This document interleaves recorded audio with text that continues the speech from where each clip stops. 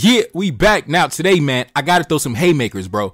I gotta throw some haymakers, man. Now, take a look up on the screen. Not wasting no time. Let's jump right into it. You'll see I got a comment on one of my recent videos about Tariq Nasheed and Burna Boy. As you already know, the controversy surrounding that whole scenario. But this brother came into the comment section. You know, one of the one of the Tariq Nasheed supporters that I haven't blocked from the channel because I really don't know because he he seems like a decent brother, right? He seems like a decent brother, so I haven't blocked him. But anyways, he came into the comment section and said this: Burna Boy was out of pocket. Why make a dumb statement? As a black American, I was offended. Besides the bad analogy, Tariq is right.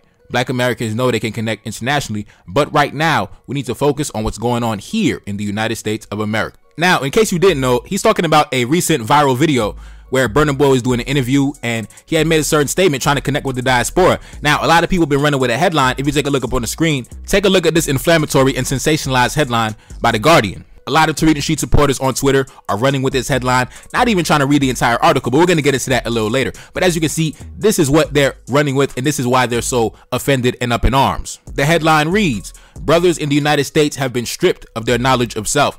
Now, I mean, what Burna Boy said is nothing different than what has been said by teachers in the past, like Malcolm X, like Minister Louis Farrakhan, like Marcus Garvey, like what Martin Delany, like many of the master teachers, what John Henrik Clarke, many of the master teachers that uh, Tariq Nasheed loves to venerate and and pedestalize. They've said similar things, but now because for whatever reason we got an agenda or we got a narrative we got to push, now everybody is up in arms about something that's already an accepted and documented absolute fact, something that has already been taught from previous scholars in the past. And if you go to Tariq Nasheed's hidden blockbuster video store, the same master teachers that he has up hanging up on the walls, they said similar things in the past, and we venerated them for those statements. But now we want to crucify Burna Boy for repeating something that has been repeated throughout the ages. Anyways, let's continue. Let's take a look at the article itself. Let's not get carried away by a headline like unintelligent human beings. Let's actually read what the article says. The article says, starting from the top, the only way we can move forward is if we all know that Africa is our home and make sure that our home is a place that is respected. Burna Boy believes there's something deeper at work when it comes to the popularity in the UK, when it comes to his popularity in the UK. Most of the people from the UK, if not all the black people from the UK and the people of color, they all know where they're from. They know exactly where their roots are. This, he says, makes it easier for people to tune into his wavelength. It took longer for his music to find an audience in the United States. He says it's a consequence of African Americans not having the same close connection with Africa. Unfortunately, the brothers in the United States have been stripped of their whole knowledge of self, he says, so it's a bit harder for them, you know. When he collaborated with the US rappers YG and Future, he said he was bringing my brothers home. Now, take a look up on the screen, you'll see a tweet that was a response to that headline. This guy says, says the person whose country is younger than some of our grandparents or parents. Now I'm assuming he's talking about Nigeria. Well, the ethnic groups in Nigeria go back damn near like a thousand years, so I don't even know what the fuck he's talking about. Unless you got a thousand year old parents or some shit. But like I said, these niggas don't know shit about. Anyways, let's continue, bro. Like I said, you can't really expect much from anybody who follows Tariq Nasheed, bro. You can't really expect much of any historical knowledge, of any, you know, groundbreaking intellectual contributions. Like, niggas is slow. Let's continue. Now, what sparked off this entire debacle was Burna Boy doing an interview and he spoke about the importance of the diaspora connecting with the African continent as a home base for networking, business, and just collaboration. And instead of that statement becoming the headline that everybody ran with, everybody ran with this other bullshit headline. But then again, what can you really expect from the followers of Tariq Nasheed? They got an agenda, they got a narrative, they got to push by any means. Now, today I'm going to address the brother in the comment section and we're going to talk about the benefits of a nation or a group of people strengthening its international relations while also focusing on building itself up domestically because apparently the brother believes that you either got to focus on your domestic situation or you got to focus internationally. Apparently, he believes that black men do not have the intellectual capabilities to walk and chew gum at the same time. And in this video, I'm going to prove him wrong. Now, let's get into it, man. Now, in this video, I'm to address black Americans as a nation because they are a nation within the nation. Now, of course, the followers of Tariq Nasheed don't see it that way. They see themselves as part of the greater uh, United States empire, right? They, they see themselves as part of the, the U.S. hegemonic force across the world. But, you know, it is what it is. I'm to address them as their own independent sovereign nation in this video. Many nations face a common dilemma, right? Should they focus on building themselves up domestically or strengthening their international relations? The truth is, these two goals are not mutually exclusive. In fact, they work hand in hand. And the most powerful nations in the world, including the United States, we're gonna use the United States as an example because we know y'all boys love the United States so goddamn much. The United States, they're able to focus on both at the same time domestic politics and international relations. As we already know, Burna Boy is outspoken about the importance of African unity and cooperation between the continent and the diaspora. As part of his brand, Burna Boy sees it as his mission to help bridge this gap and promote a reconnection. Of course, most Tariq Nasheed supporters have no interest in connecting with anyone beyond the borders of the United States, so in my opinion, it doesn't matter if Burna Boy was more articulate in his approach. At the end of the day, there's a growing faction among the black population in North America that has decided to tether themselves to the wealth and power of white American men, win, lose, or draw, and that's a fact. Many people from this faction, they see no value and they have no interest in spreading their wings beyond the borders of America, and they need to be honest about that instead of trying to intellectualize the reason why they have an isolationist mentality. The overall message of Burna Boy's statement was the importance of black people having an international mindset in order to compete economically and politically in a globalized world, but many people decided to run with the sensationalized headline to confirm whatever bias they were already holding. Now, for those of y'all who haven't seen the video, go back in my catalog a few days back. I believe the video was entitled Tariq Nasheed versus Burna Boy, and you can see that video that I'm talking about, where Burna Boy essentially said, just like the Chinese, just like the Europeans, just like the Israelis, they have a home base, a home base that can serve as a hub that they can launch different projects out of, a hub to tap into resources, a hub to connect, things like that. Go back and watch that video, and instead of running with that headline, they decided to run with some other bullshit. But anyways, let's continue. It's already been a well-accepted fact that many blacks in the diaspora have lost much of our connection to the continent. Even in countries like Haiti, where I'm from, many of our cultural practices inherited from the continent are still seen today, but over 95% of Haitians are devout Christians, and our educational system is Eurocentric in nature due to the influence of the Catholic Church. Therefore, many of us are educated upon the foundations of European teachings, just like all other groups in the diaspora.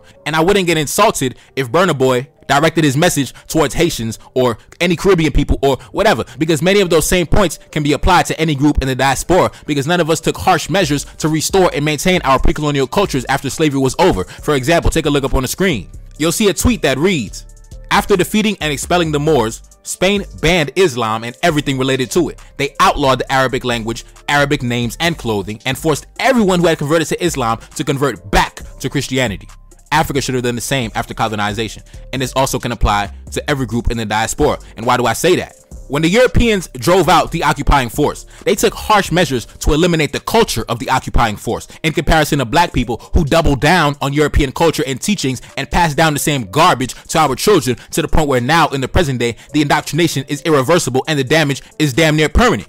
And if you ask me, I think the FBA crowd should be able to forgive Burna Boy for not being the most articulate in delivering his message because somehow they found the ability in their heart to forgive Tariq in his previous occupation as a pimp on the damn street, a fucking pimp slash human trafficker. Last time I checked, Burna Boy never forced any FBA women into a life of prostitution putting them down on the streets of Los Angeles and forcing them to sleep with a bunch of white men, Mexican men, and everything in between in order to make a dollar. But somehow Burna Boy is the villain when the only thing he's guilty of is promoting unity among black people worldwide and making music that black people can enjoy. So if you ask me, Burna Boy is more valuable as a black man in the overall big picture if we measure both men up in terms of their power and influence. Tariq Nasheed is essentially worthless compared to Burna Boy. And I'll stand on everything I said. Give a fuck what a nigga think about it. That's a fact. If we gotta choose between Tariq Nasheed or Burna Boy, nigga, I'm throwing Tariq Nasheed in the fucking garbage can, nigga. First of all, have any of y'all listened to Tariq Nasheed's music when he was a rapper back in the day? Bro, I ain't never heard some shit so goddamn garbage. Now y'all know at the end of my videos, I play I play a song. That's my song right there, bro. I could run laps around Tariq Nasheed in terms of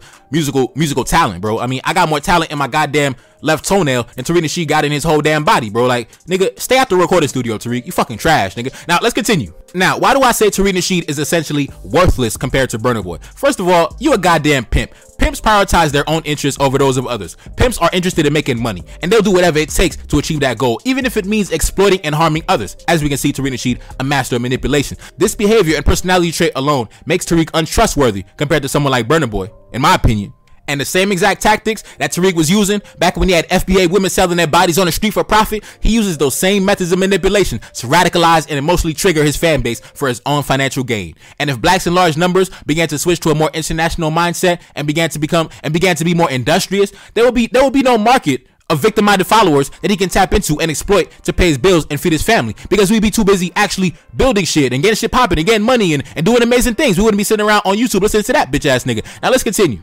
let me debunk the brother's comment when he said that you know we got to focus on what's going on here in the United States and then we can focus internationally as if black men cannot walk and chew gum at the same time like all other groups of men.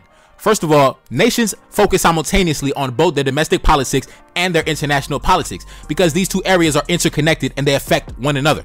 Domestic politics involve governing and addressing issues inside the country, issues such as the social situation, the economy, education, healthcare, law enforcement, etc., etc.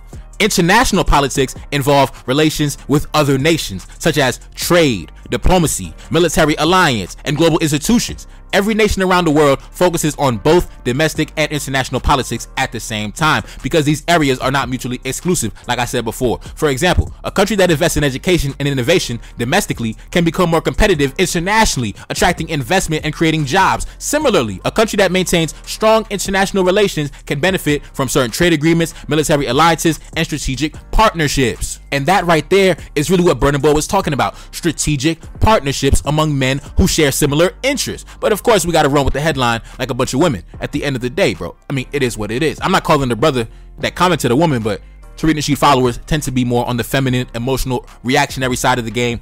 You know, not really too masculine. You know, very feminine in their reactions. You know, fly off the handle, emotional outbursts similar to women. You know, I'm not gonna, you know, dive in deeper than that. But let's continue.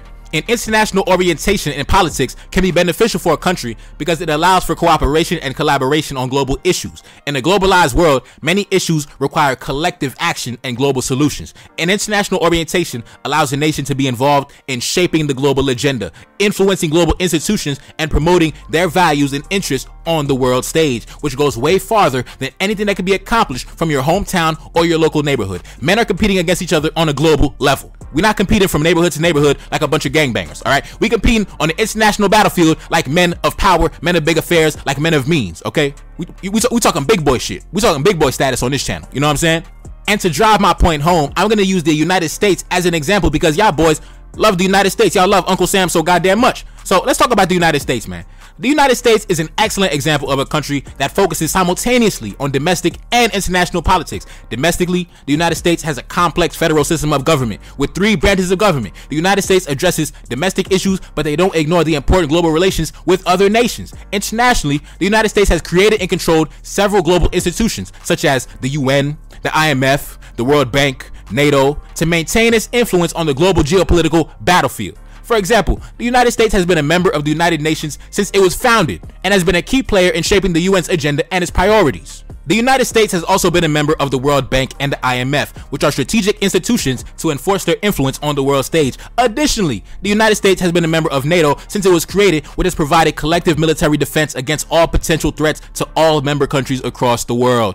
The United States has built and maintained its power and influence globally through its complex relations with the nations of Europe. From the colonial era until the present day, the US has also been heavily influenced by European ideas, culture, and institutions since it was founded. And even though the United States is the most powerful nation in the world today, they've never lost and they never disregarded their connection to their ancestors in Europe. During the colonial era, the United States was under the control of the European powers. From Great Britain, France, Spain, European influence on the US was primarily political and cultural as Europeans introduced new technology, ideas, and beliefs into the colonies. After the American Revolution, the United States began to assert its own independence. They started to establish their own political and economic systems. In the mid 20th century, the United States played a crucial role in rebuilding Europe and maintaining its security against the Soviet Union. That action is the most shining example of the United States understanding the importance of maintaining an influence on the global stage and expressing solidarity among men of European descent who share common goals and similar ambitions. The United States also established military alliances with Europe through NATO, which helped to control Soviet aggression and maintain the security of Europe.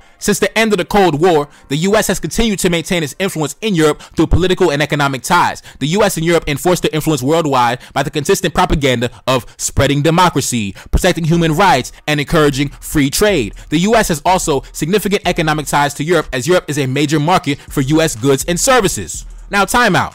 If the white man that y'all boys worship and adore so goddamn much, and you say he's a genius and he got the, the most powerful nation and shit like that, that you helped him build and shit like that, he has an international mindset, but you think you're too good to have an international mindset. Listen, I'm gonna take I'm gonna take cues. I'm gonna take you know I'm gonna take direction from who's actually winning. All right, that the white boy winning, the white boy winning, and I'm gonna see I see the mindset he has. I see the mindset y'all have, and I can clearly see who's winning. So I'm not gonna take notes from somebody who follows Tariq Nasheed. All right, I'm gonna take notes from what the winners are doing. Now let's continue. In my opinion, like I said before, man, Black men need to have an international mindset towards business because doing so can provide us with a range of benefits and opportunities that may not be available to us in a strictly domestic context. At the end of the day, y'all boys like to talk shit about black immigrants, but black immigrants got an international mindset. You're gonna find black immigrants in every goddamn part of the world, bro. The United States, Canada, uh, Europe, France, Sweden, goddamn Ukraine. You saw black immigrants in Ukraine during the war. So black immigrants got an international mindset, bro. I'm just saying, my brothers in the United States, you gotta catch up, bro. Anyways, man, let's get back into it. By thinking globally and engaging in international business, black men can expand our customer base, increase our profitability, and gain access to new technology and resources. One of the primary benefits of having an international mindset towards business is the ability to tap into a much larger market. By expanding our operations, this can be especially important for businesses that are struggling to grow in a domestic market that may be saturated or limited in their scope. Now, we already used the United States as an example. Let's use another group of men who also show the value of having an international mindset and cooperating with each other across across the world. Jewish men, for example. Jewish men have a unique ability to do business with each other internationally, regardless of their nationality, due to their shared history. For centuries, Jewish communities have been spread throughout the goddamn world, and this diaspora has created a sense of unity that transcends national boundaries or identities. There are Jewish Americans, Jewish Frenchmen, Jewish Haitians, Jewish Britishmen, similar to how we got uh, black Frenchmen, black Haitians, black Britishmen, black Americans. This shared history has allowed Jewish men to build trust and cooperation with each other, even when doing business in different countries and continents. This sense of unity among Jewish men can be seen in the way they form and maintain business networks. Jewish men often work together to create business opportunities, share resources, and support each other. This can be especially important in situations where they may face discrimination or hostility from the local population or the government itself. By relying on each other, Jewish men are able to navigate the challenges of doing business in different parts of the world black men can also benefit from developing a similar sense of unity when it comes to doing business internationally. Just as Jewish men have faced centuries of discrimination and hostility, black men have also experienced similar challenges throughout history. From slavery, colonization, we already know black men across the world have the same enemies as well as similar interests. But one thing we gotta remember when speaking of black people connecting internationally and having that base of power that Burna Boy was talking about, it is important to recognize that not all black men may have the resources, opportunities, or the desire to pursue international business ventures. We understand that. However, for those who possess the skills, the knowledge, and the ambition to succeed in the global business world, developing an international mindset is a valuable asset. And to be honest, black men who are already operating at that level, I don't even got to tell them that. That's like beating a dead horse. They already know what time it is. They already know what's up. But for the brothers in the slow class that may not already know, we got to make it plain. We got to let it be known. First of all, in any group or community, it's typically going to be the most intelligent, the most ambitious, and the most driven individuals who are the most successful in building and maintaining business networks and connections. This is true for individuals of all races, not just black men. We're talking about those who possess a high level of intellect, strong work ethic, and strategic thinking are more likely to succeed in the competitive world of international business. I'm sure Burna Boy didn't mention that, but he should have said that, right? He should have said that. Listen, we're not we're not calling all y'all dumbass niggas to connect internationally. Some of y'all gotta stay in whatever neighborhood you came from, nigga. Stay in your homeland, stay in your home country. Everybody ain't built for the major leagues, my boy. Everybody ain't built in the major leagues. Just like every white man isn't some captain of industry, the average white man is some out of shape bum with no money. Just like the average white man isn't Bill Gates, the average black man isn't gonna be Aliko Dangote. We want the best and the brightest. I'm not a classist, but listen, the facts is the facts. Also, something else that we got to factor in, man, the image of the black man that needs to be improved on a global level, right? By fostering an international mindset among black men, we can help to challenge the negative stereotypes and perceptions about black men in the global community. By demonstrating our intellectual and entrepreneurial abilities on the global stage, we can break down barriers and create opportunities for ourselves and our future generations. A lot of these folks who have such a problem with what Burna Boy said, they don't even got the capability to contribute much of anything to anybody, right? And the black men that do have the power and the capability to contribute, they already have an international mindset. I didn't do a video about it, but Steve Harvey put out a video saying hey man, black men, black people, we gotta have an international mindset. We gotta connect with the continent. Steve Harvey, multi-millionaire media personality. Listen, black men of a certain level, of a certain echelon, they already know what time it is, right? Anybody following Serena Sheed, nigga, I already know you ain't on Steve Harvey level. So, like I said, I'm gonna follow what the winners are doing and what the winners are saying. And what the winners are doing and what the winners are saying is more in line with what Burna Boy said way more than whatever bullshit Serena Sheed is talking about. And I already acknowledged on previous videos that Burna Boy wasn't the most articulate, but it seems that people are picking and choosing what to focus on because the overall message of his statement was the importance of black people having an international orientation in politics and in business, similar to how other groups operate and cooperate on an international level.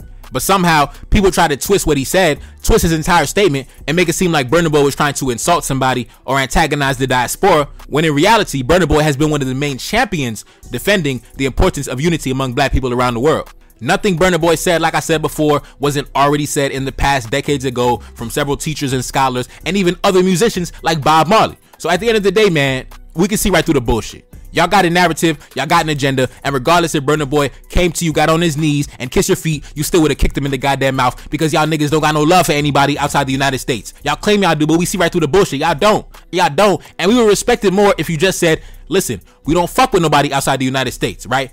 And just start waving your American flag around and start banging your American flag like a gangbanger. We would have more respect if you were just honest, you know, in my opinion. But anyways, let's get back into it. We got to talk about how not only do we need the best and the brightest just in terms of intelligence and capability, but we need the best and the brightest in terms of black men who have the the mentality necessary to compete.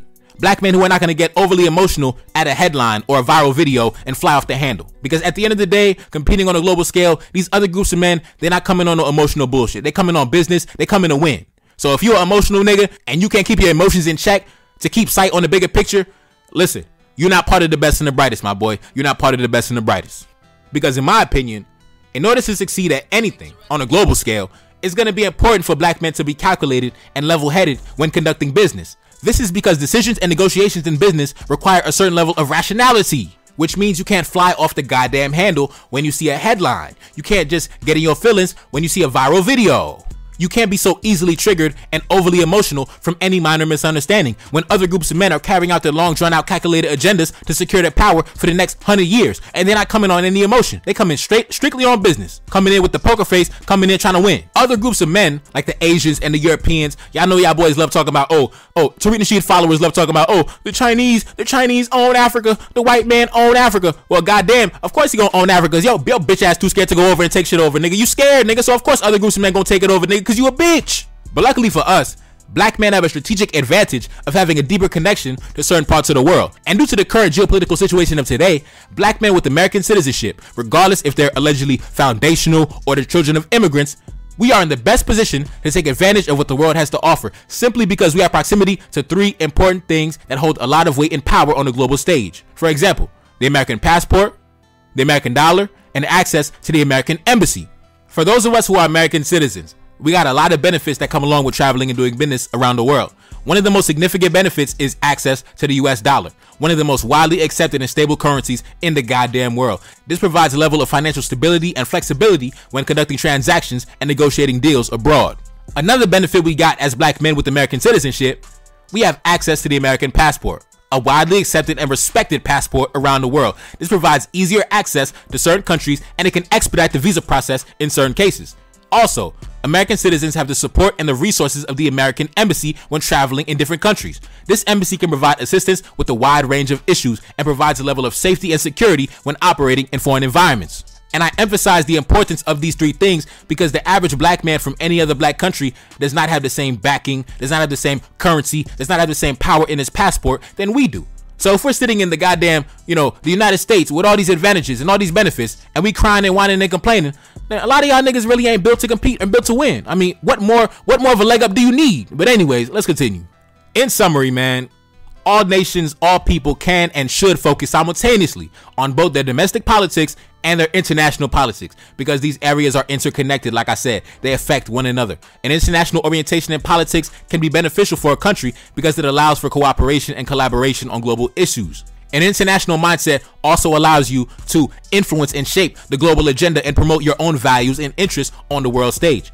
Me, myself, personally, I focus domestically on the affairs of the United States because I live here, I pay taxes here, and I do business here. I also focus domestically on the political affairs of Haiti and the Dominican Republic because I have family there and I have property there. I also focus internationally on global affairs with a special focus on African politics because, in my opinion, all of this is interconnected.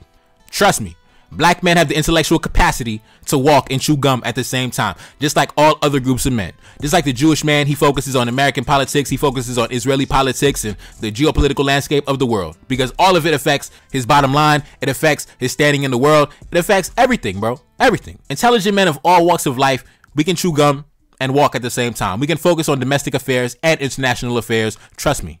Trust me, you're not gonna get hurt. It's not gonna hurt you to do what all other groups of men are doing. Like I said, I only follow what the winners are doing. I cannot take any direction from Tariq Nasheed or any of his followers because y'all niggas ain't winning. Now, anyways, bro, it's your boy Neferkare Dessalines back in the Billy S. Indeed. Like, share, subscribe, Cash App in the description, and I'm gone. Peace.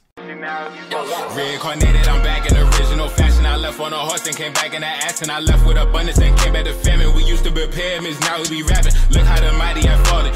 Be running, now we be walking. When you be cooning, that's when they applauded. Selling your soul, your sons and your daughter. Gotta come up in this shit, they stuck in the mix. Really, my heart it be breaking. That's why I'm stacking that paper and handle my business. Pass it down in generation. Talking about money and power and building a nation. That's a deadly combination. Never be watching the TV, they agendas, falsifying information. Know they got malice intentions. Step in the room and I'm feeling the tension. Enemy watching me blocking my vision. Pay for the check cause I need my redemption. Building my kingdom, I need it protected. Ready for war like a young money Congo. Never decided the team is the motto. Up in the crib and I'm whipping up waffles. Up in the crib and I'm smoking gelato. I'm chilling, I'm taking my pain and make it ambition. I'm blessed by the gods, but I ain't religious. I came for the power, they came for the bitch. They making no hourly wage. I got business, this is an art, and they could never be taught. Selling my soul, I can never be bought. Play with my money, I see you ain't caught. Run to the check and I do it for sport. Babylon falling, I go to the source. Packing my luggage and go overseas. Shorty be with me and she so elite. Shorty be chocolate, I'm calling her Hershey. Secret intelligence probably gon' murk me. Don't fuck with brands, cause nigga, I'm Haitian. Say the wrong shit and you're smacking their faces.